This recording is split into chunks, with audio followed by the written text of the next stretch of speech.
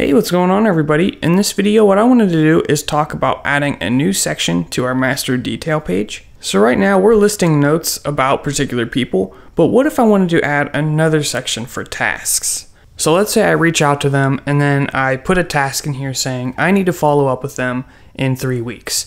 So maybe the notes section would be general information and then the task section would be more of something I have to do with a deadline. So how are we going to do this? Well, we're actually going to make a table very similar to the notes, but with just a couple different columns. One's going to be a due date. So what we're going to do is we're going to go to SQL Workshop, Utilities, Quick SQL. So we're going to create a table tasks. This is going to have a contact ID. Notice here that this is not referencing the anything really right now. So we need to do is we need to say forward slash FK and then the table we want to reference, which is contacts. Then we're also going to have a date due and a message. So it's very similar to the notes table, just with one different column. I think there is a possibility where you could make one table serve the purpose so the notes could have an optional due date. But for simplicity, I found it easier to separate these out into two tables, whatever you think is best for you guys. Just make sure the SQL looks good. We have a date type, we have a foreign key, and we have a primary key. So it looks good. Let's save this. We'll save it as tasks, review and run. Run that. Run now. And there we go. Now we don't want to create an app from the script. We're just going to pull that into the app we already have. So what we need to do is go back to our app and we're actually going to edit this page. We're actually going to use some copy paste skills here.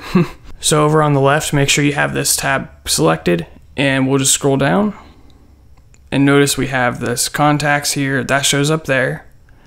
And then we have the notes here that shows up there. And then we have the no record selected, which appears here on the layout, but that's really just what happens when you don't have anybody selected. So if you click reset, that's how you can configure this page here. But if what we want to do is actually add a new section in here, we can put it after the notes.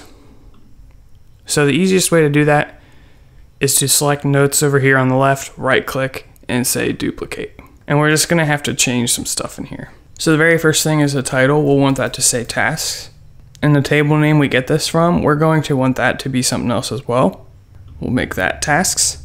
One other thing real quick for you guys is that for this where clause, you're actually going to want to take from the notes this value. So what this is going to do is it's going to use the value of the contact ID that was passed into this page. That way we only get the tasks for that specific user. Now it's not complete, but what I want to do is I want to show you where we're at. So save, take a look at the page, we did a refresh. Scrolling down, you can see this new tasks section. And we can go in here, we can add a new task, but it's not going to be quite what we want because you see this pops up and it says notes and it asks for the date created, but we want a due date. So this is just not exactly what we want.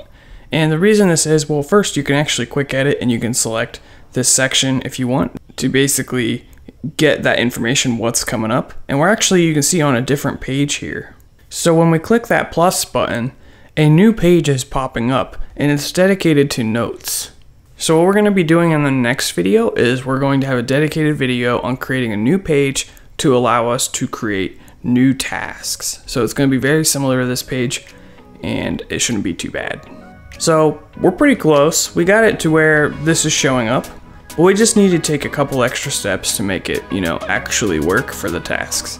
So stay tuned in the next video because I'm going to be teaching you guys how to do that.